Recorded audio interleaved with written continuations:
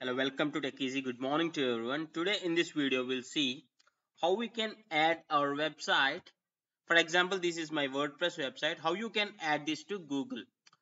For this website to be shown in the Google search results, first it should be added to the Google.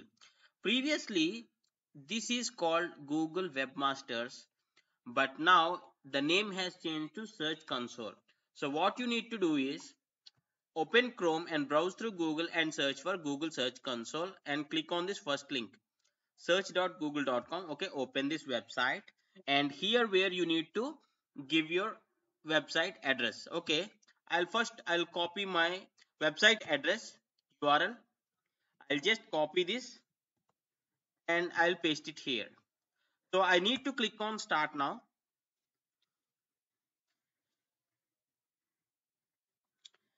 and see here there are two options domain level and url prefix.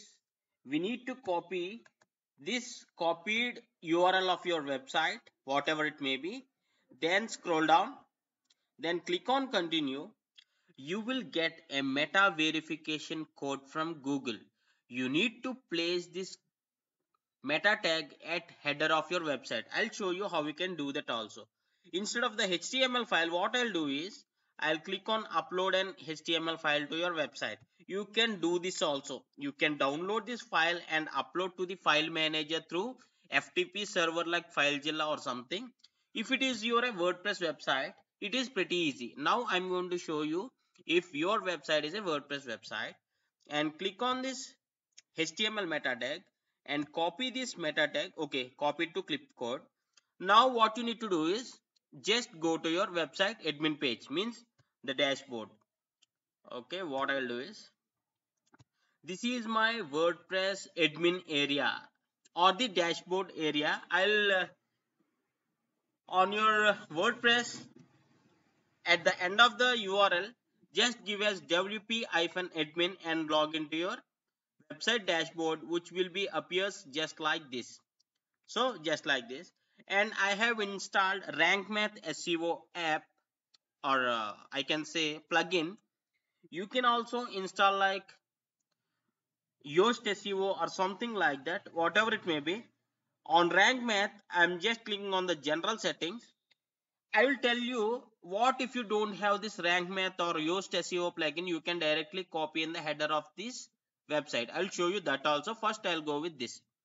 Okay, under general settings, you will find something like webmaster tools and here you can just paste the copied code and save this file okay?